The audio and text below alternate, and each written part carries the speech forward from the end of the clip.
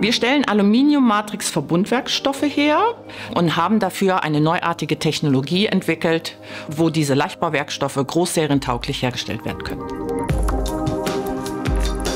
Die ähm, große Herausforderung ist, dass man sagt, alles, wo bewegte Massen im Spiel sind, da soll an Gewicht eingespart werden. Deswegen gibt es unendlich viele Einsatzgebiete und das Pulver, was wir herstellen, das können Sie direkt verdrucken für den metallischen 3D-Druck und können also einzelne Bauteile drucken. Wir schmelzen Aluminium auf, führen dem Aluminium Silizium-Carbid-Partikel, sprich Keramik, hinzu und wir kreieren dadurch einen völlig neuen Werkstoff, der nicht mehr entmischt werden kann.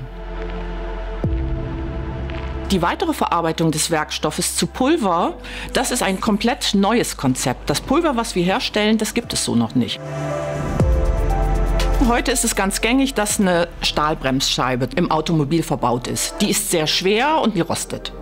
Wenn Sie jetzt diesen Werkstoff austauschen würden gegen Aluminium, was deutlich leichter ist, und dann mit unserem AMC-Pulver beschichten würden, hätten Sie also eine ganze Reihe von Vorteilen.